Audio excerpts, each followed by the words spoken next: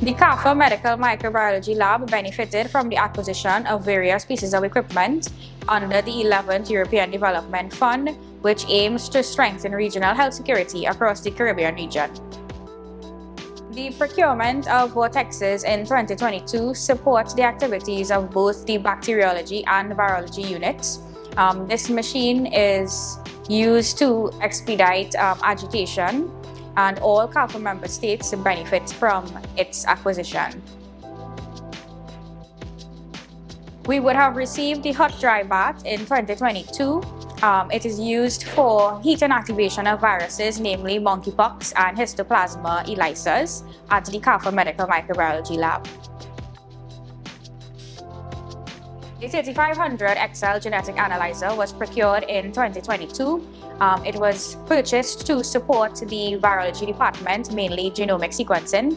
It would be used for genotyping measles and rubella, as well as it's also able to support variant analysis studies.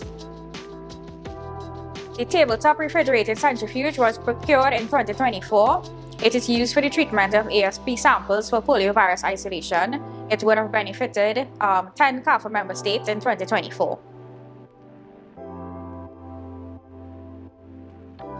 All 26 CARPHA member states benefit from the procurement of PCR chambers. Um, we utilize these chambers when we are preparing master mixes, as well as when we are setting up for automated extractions.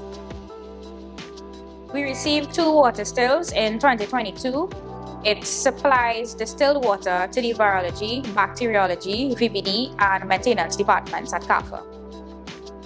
All CMSs benefit from the procurement of the hot plate stirrers. Um, it supports the services of the bacteriology unit.